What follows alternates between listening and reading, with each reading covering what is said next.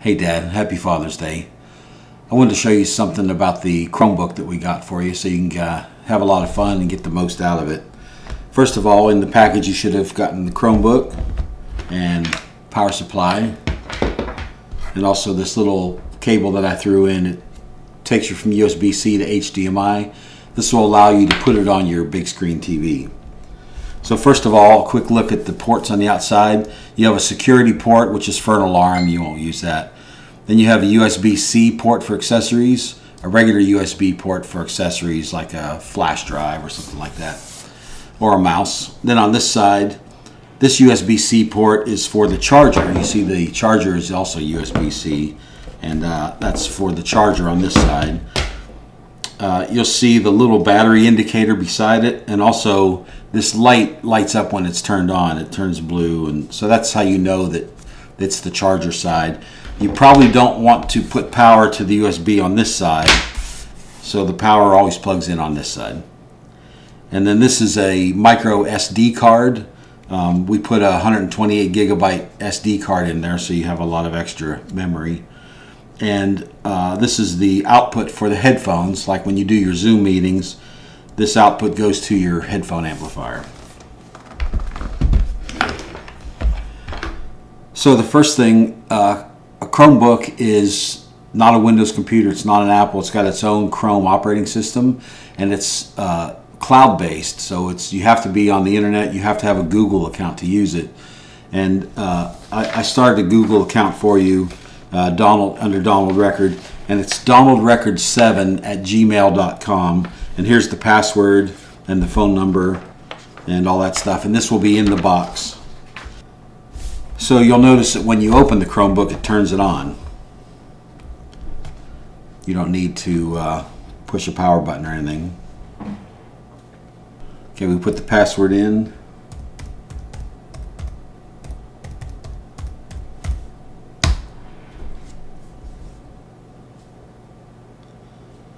and there it is so first thing, one of the most important things with this is the touchpad. You'll use it all the time and there's several different things that Chromebook does really well on the touchpad that'll be useful for you. Let me open a window here. I'm going to hit uh, Google Chrome. Let me go to a page that I know has some scrolling on it. Alright, we're going to start with this American Nation roll call page because we can use all the gestures on this page.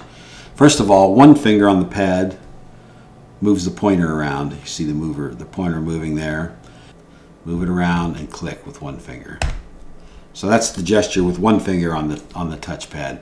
With two fingers, you can scroll the page like so. See the page scrolling. So if you use two fingers, you can scroll down, scroll up. And also two fingers right clicks on the page. So we right click and see this gives us the opportunities to save or print or whatever. So that is the same as a right click, two fingers pressing on the touchpad. So with three fingers, if you swipe down, goes to overview. So we swipe down and see this shows everything, all the apps that we have open. We have open files, the Play Store, and Chrome on American Nation roll call. So that's what three fingers does for you. So it's one finger to move the pointer and click, two fingers to scroll the page or right click, and three fingers to go to overview. You'll use those all the time. Okay, moving on to the keyboard. The keyboard is different on a Chromebook in that there's no function keys at the top. It has these special function keys. You've got page back, page forward, refresh, magnify, which makes things go to full screen, overview, which does the same thing as scroll as a three finger scroll. It gives you the overview page. This is the uh, screen dim down, screen up, volume mute, volume down, volume up, and the power button. And then over here, the spyglass, that's the uh, search function. So if, uh, let's, let me show you these real quick. And this arrow at the top here, back of page, the arrow right here on the keyboard does the same thing. So if we click on here, it goes back one page that we were at, and then forward one. This does the same thing. So it goes back a page, back another page, forward a page, forward a page. Also up here, this circle with an arrow, that's the refresh. So it refreshes a page. This button right here, the refresh, that does the exact same thing. The uh, full screen page, if we are have a small window like this, and we hit full screen, it blows it up full full screen without the uh, without the headers or anything. It just gives you full screen look. And this one is overview. Like I said, this shows us what apps we have open right now. Same thing as the three finger scroll. The screen dim, screen bright, volume off, volume down, volume up. This is the power button. I'll show you that in a minute. The spyglass, you go here to search apps or web. So we type in uh, calculator and there it comes up. We click on it. So that's how you find things on the on the computer is using this spyglass. So on the power button, if you put push it for about a second, it gives you uh, power off, sign off, lock, which you'll probably never use, or feedback. I don't even know what that is. So you'll use this at the end when you turn the computer off, and we'll do that when we're all done. So that's the keyboard in a nutshell. Now the screen, the way that I have it set up for you, you have uh, launcher down here is this white button. Then these across here is called the shelf. And these are apps that you'll use all the time. And then this is the tray or the notification area. It gives you time of day, the status of the battery, the status of your internet connection, and notifications. And let me show you these one at a time. So the launcher, if you click launch and then this arrow, this shows you all the apps that you have available on the computer. And over here you see these two dots. That means you have two pages. The one that's lit up is the page we're looking at. The hollow one, that's this page. See, these are all the apps that you have on the computer. So that's uh, what the launcher is. The launcher brings up this, uh, brings up all your apps. Click launcher, goes away. so these, uh, let me do the, show you the, the uh, tray first here. This is the notification area before we get into the uh, shelf. So here you click on this anywhere in this window and uh, this presents for you sign out, power button, settings. This is how you configure your Wi-Fi, which you're already on, obviously. Bluetooth you can turn off and on, and this is where you'll see your notifications. Nightlight, there's nothing. And uh, this is this sliders where you can turn your volume up and down. And this is where you can change your screen brightness slider up and down. Now this sign out, what that's for, one thing that's really cool about uh, Chromebook is the Chromebook is configured for Donald Record 7 at gmail.com as it is. If somebody else wants to use your Chromebook, you want to let a, one of your grandchildren use it or something, you can sign out and then when they sign in with their Google account, it has their settings the way that they have it, and it changes nothing that you've done with your settings, so they don't nobody can mess up your stuff. By the same token, if you borrow somebody else's Chromebook and you sign in donrecord7 at gmail.com, it'll come up configured the way that you have configured yours. It'll look exactly like this in the way that you want it to be. Okay, now on to the shelf. The shelf, these are these are apps that you use all the time. And we have here the Chrome, Google Chrome for browsing. This is the family website.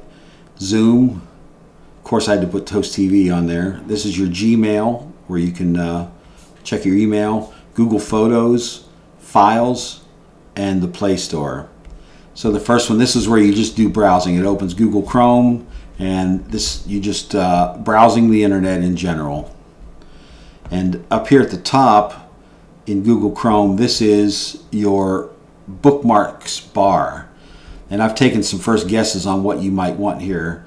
Uh, Zoom, Toast TV, Google just for Googling, for looking things up, the Record Family website, and YouTube Home, which is if you go here, it's just the home page for YouTube for if you want to search and look for videos or whatever you want to do there.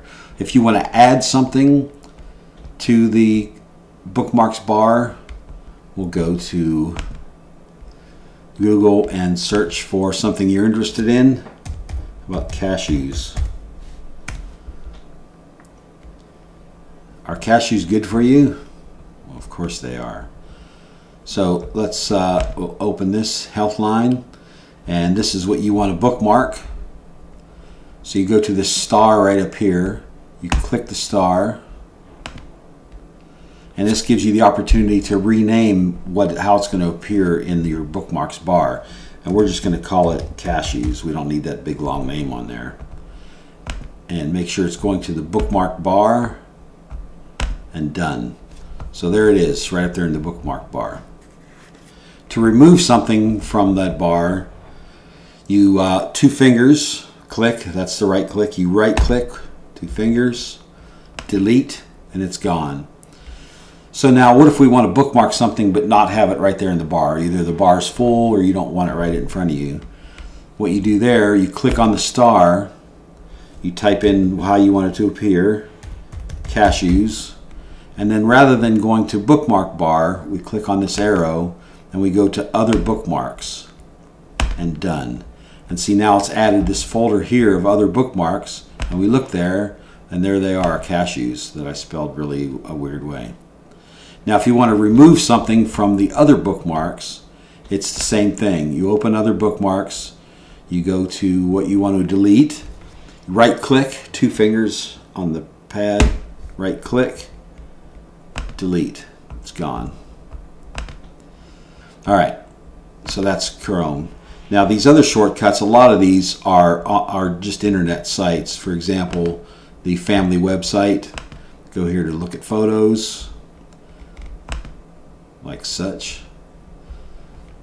This one is uh, Zoom. So you go here to uh, go to our Zoom meetings. And here's Toast TV, so you can get there real quick. There it is. Close that. And here's your Gmail. And you go here to check your mail. Now, right now, it's set up for donaldrecords7 at gmail.com. So any of your emails that you get will be there. You can put your other email addresses in here to check your email, but you would need the passwords and whatever you need to, to set those up. Close that. Uh, this is Google Photos. These are some photos that I put on there. And uh, I'll show you how to do that here in a minute. Okay, this is Files. These are all your assets on the computer and on your cloud. If we look here, downloads, there's nothing there yet. Here's your Google Drive, and there's nothing there yet. This is that micro SD card that I told you that we put in the side, that 128 gig. And I made two folders on here, stored music and stored photos. There's nothing there yet. I'll show you how to do that. Now say you want to store some photos in your Google Photos. There's some a couple ways to do that. So you're here on the family website and you're cruising through the photos. Oh, there's a when Donnie was born, and then oh the kids with the picnic. Oh, this is so beautiful. Okay, so this picture here with the kids eating watermelon, you want to store this on your Google Photos. The way you do that, two fingers, right click, gives you uh, save the image and this gives you the opportunity to rename it right down here. So we want to name this, whoops, watermelon 1 in case we want to have 99 other watermelon photos we can distinguish them. And we're going to my drive, save. So now Watermelon 1 is saved. Go verify that. Close all this stuff. And that's on your Google Drive. We go here Files, which shows us all our places. We go here to Google Drive, My Drive, and there it is. Watermelon 1 is in Google Drive. Suppose we want to put Watermelon 1 on the SD card. we simply grab it and drag it down there and drop it. So now Watermelon 1 is stored here on this SD card. Say we want to put this photo on our Google Photos and take it off of our Google Drive so that we free up space on the drive. The way you do that, you go to Google Photos and don't forget that two finger to scroll down and up. So we want to add Watermelon 1 to your Google Photos. To do that, we go up here to Upload, one finger click. We're loading it from the Google Drive. There it is in the Google Drive. We click on it and we upload. Uploading one of one, boom. There it is. Watermelon 1 is on your Google Photos now. Suppose we want to take that off of the Google Drive to free up space.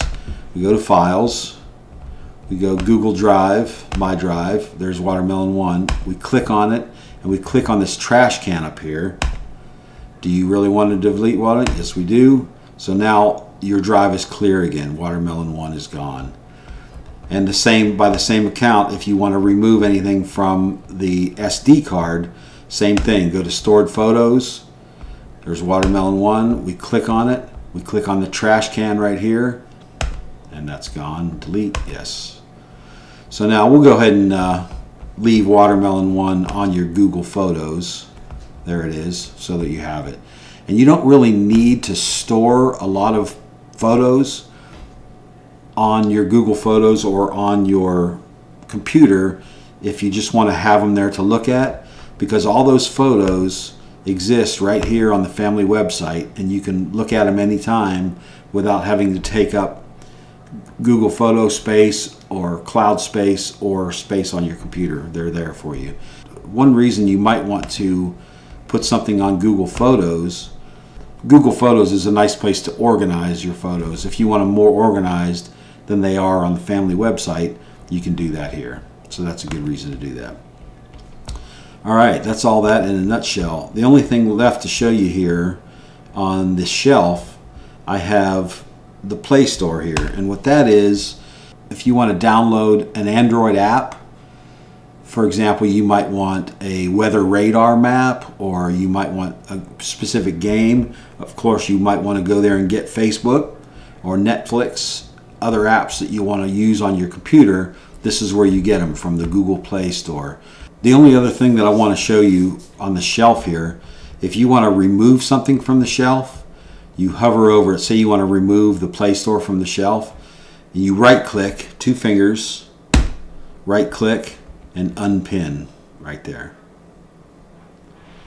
If you want to add something to the shelf, Maybe you find that you're using the calculator all the time. Well, remember to get to your apps, you go here to the launcher and click the arrow, and there's all your apps. And we page down here on the dot. There's the calculator. We right click two fingers on the calculator, pin to shelf. Boom, there it is on the shelf. Close the launcher. See now there's the calculator on the shelf. And once again, to remove it from the shelf, you right click on it, two fingers, bang, unpin, it's gone. So that's how you modify the shelf of things that you're going to use all the time. Uh, that's pretty much it for operation of the computer. There'll be other things, I'm sure.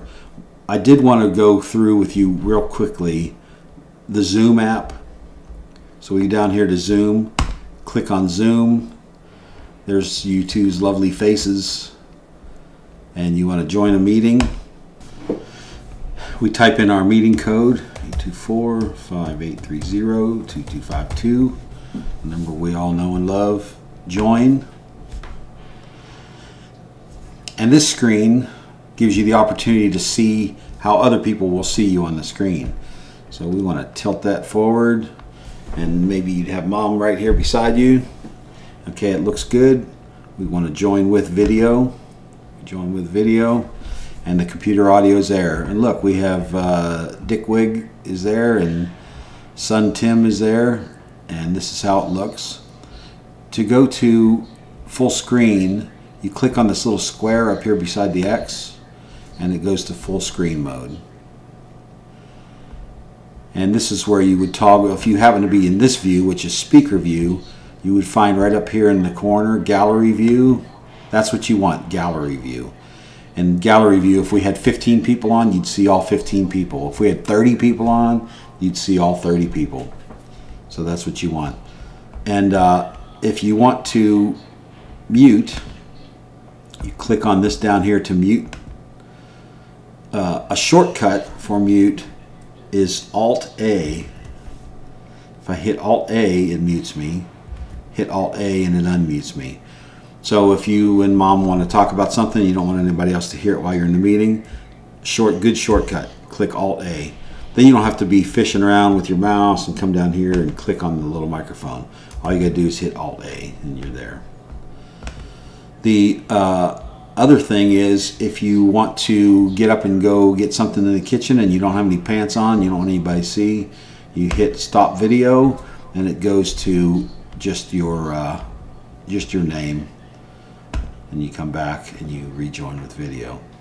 Also, if you want to change your name, well, let me do this first.